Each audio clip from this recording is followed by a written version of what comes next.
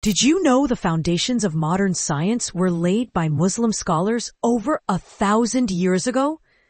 During the Golden Age of Islam, between the 8th and 14th centuries, Muslim civilizations became the center of global knowledge and innovation. Inspired by the Quran and the teachings of the Prophet Muhammad, sallallahu alaihi wasallam, scholars saw the pursuit of knowledge as a religious duty.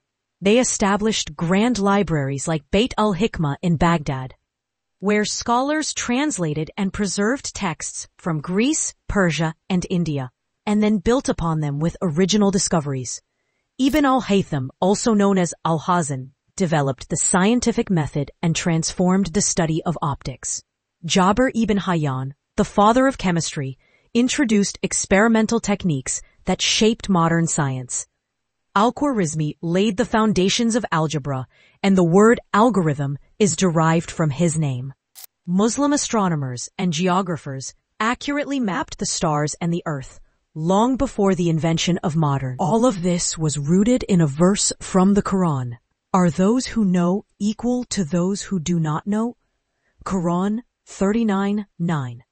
Like and subscribe to discover more inspiring stories from Islamic history.